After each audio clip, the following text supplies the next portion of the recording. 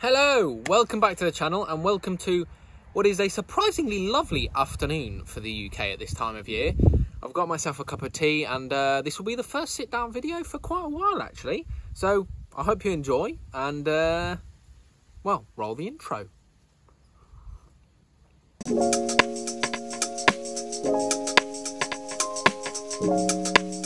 So, what did I want to talk about? Well, I have finished my year abroad, and um, as I promised a couple of commenters in, it would have been January now, um, I am going to give a bit of a recap of what I was up to essentially for the whole year. Now, um, if you want any more details of what I've been doing, uh, then there's a whole year abroad playlist you can check out on my channel. So do head on over. But I just wanted to go through and sort of give an overview of both my placement in France and in Argentina. Again, if you want to know how I found them, etc., I would recommend going in to look at my previous videos. So let's start with France. Now, I have a couple of questions that were commented about six months ago now, well, more than that, seven, eight months ago now, uh, that I'm going to go through for both France and Argentina. Uh, and the first one is, uh, what did I think about my placement in France helping my studies? Now, the point of the year abroad is to really develop your fluency with the, the language that you're studying and improve your speaking ability because that's something that is really challenging to practice in Oxford or at university in the UK, right? Now, I'm very lucky to have gone to a French school for one and a half years when I was six or seven uh, and have had fantastic teachers at secondary school. So my level of spoken French was already very high. Uh, spending a year and a half with French kids solely speaking French was really helpful. Um, but going to France to work in this company really did help my sort of colloquial language skills. It really helped me sort of learn how people actually speak. Uh, I don't think there was a vast improvement in sort of grammatical structures I used and things like that but uh, my language definitely did improve. I probably speak more naturally now um, with far more range, maybe not far more range of vocabulary because I'm sort of starting to sort of forget a lot of what I was saying, but uh, with more range of vocabulary and just generally sounding a bit more fluent, I would say. Well, the second question is what I thought of it career-wise. Was it helpful? Now, at the time, I was, it felt as though I was sort of just writing a lot of emails and answering a lot of phone calls. Having in the past two or three weeks started applying to jobs for when I graduate, I've realized that a lot of the tasks I was doing and a lot of the situations I was put in were and are really helpful for CV writing, interview questions, and cover letter writing. Um, so actually, I am really grateful for the experience it gave me. Um, something completely different to anything I've ever done before. So, yeah, I mean, it was just kind of good in that way, I would say. The third question is, what did I feel like living in France was like? Now, I have to say, I was in Forcalquier, a little village about an hour north of Aix-en-Provence, in Provence. I was there from August to January, so I experienced sort of all seasons, and I have to say, it suited me very nicely. I was lucky enough to have my road bike there. Uh, you can see some videos that came out from that, and it was, I mean, the countryside was beautiful, and really, the running and the cycling I did there really helped me manage some sort of personal issues that I was going through at the time. In addition to that, sort of the pastry-based breakfasts, um, going out for lunch with your colleagues once a week, and sort of generally taking it nice and steady at weekends really suited me. Mm, those things aren't necessarily uh, solely what French people do, but sort of the mixture of not being at university, not studying, and being in such a beautiful place that just felt quite tranquil really just was a nice change from Oxford, I would say. Um, I think I really did suit where I was living quite nicely.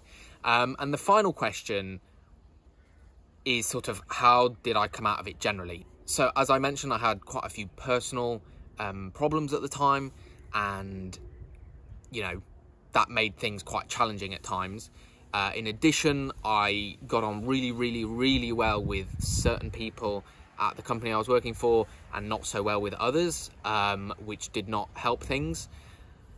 And overall, I would say the experience was genuinely 50 50. I had a lot of lovely chocolate, I met some great people, I did some fantastic cycling, but uh, both things going on in my life and at work as well made certain things quite challenging, I will say.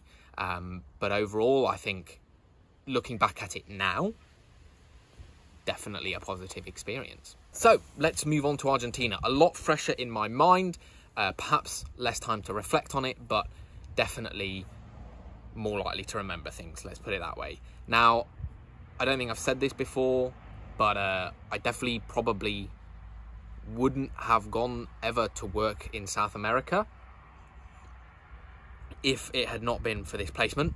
But I will start off by saying that if the economic situation changes in Argentina, because it is quite difficult at the moment for a lot of people, then I would genuinely consider to go and live in Argentina and work in Argentina because it is fantastic. I had such a great time there. Everyone I met was amazing and I, I was overwhelmingly positive. I did so much traveling. You can see videos from that on my channel and I just had an incredible time. So I think that gives you the general overview part of sort of my experience in Argentina.